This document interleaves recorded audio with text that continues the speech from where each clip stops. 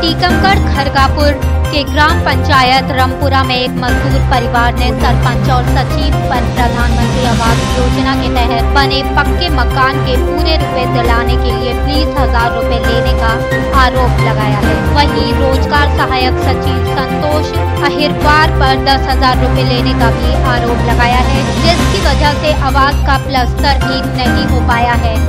घनश्याम रजक, जो कि एक मजदूर हैं और दिल्ली में मजदूरी करते हैं।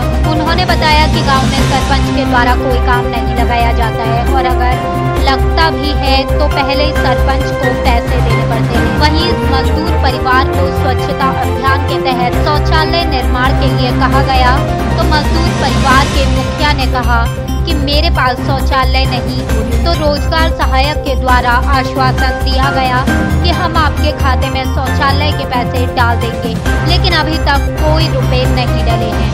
जब इस संबंध में मुख्यमंत्री हेल्पलाइन पर शिकायत की गई तो वहाँ से भी कोई निराकरण नहीं निकला लेकिन पीड़ित ने बताया कि जिला से किसी अधिकारी ने धमकी दी कि जो करना है कर दो। टीकमगढ़ से सुरेंद्र सिंह राजपूत की रिपोर्ट।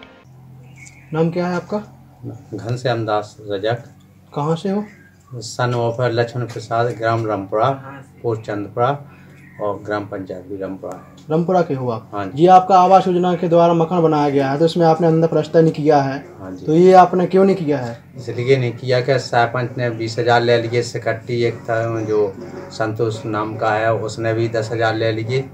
तो अब पैसा मेरे पास नहीं बोला मनरेगा में निकल आएँगे बाद में पैसा मिलेगा आज तक नहीं मिला है। आया तो, नहीं आपका मनरेगा? नहीं जी कुछ भी नहीं नहीं मनरेगा का ऐसा आया है कि चार हज़ार एक खाते में और चार हज़ार एक में तीन वेग तो ग्यारह हज़ार ये वो बोले अठारह हज़ार आएँगे। आपने शिकायत की है किसी से? नहीं मैंने एक सौ इक्यासी पे कही थी। अच्छा उसके बाद कोई नहीं वहाँ से प्रॉब्लम है बताओ कि आपके पैसा आए तो उनने भेजा मेरे पास। लेकिन फिर मेरे से पैसा लिए गए जो सरपंच खा गए बीस हज़ार और एक सकट्टी खा गया जो संतोष नाम का है। अच्छा आपके हाथ में नहीं आके आपने उनको नहीं मैंने दिए अपने हाथ से कि जब मिलेंगे जब बाद में तुमको पैसा दिया जाएगा लेकिन आज तक नहीं मिले थी इसलिए प्लस्तर मेरे पास। अच्छा जो आपने यहाँ पर लिखवाया है डेढ़ लाख रुपए तो आपने वो क्यों लिखवाया है? नहीं मैंने है। शिकायत कही थी तो मेरे से बोला थी एक जने फ़ोन पे अच्छा कौन बोल रहा था? आपके पास रिकॉर्ड है उनकी कोई? नहीं जी रिकॉर्डेंट वाला तो फ़ोन नहीं है लेकिन अब वो बोला थे जो तुम्हें को दिखाया वो कहे आज तक पैसा नहीं आया। वो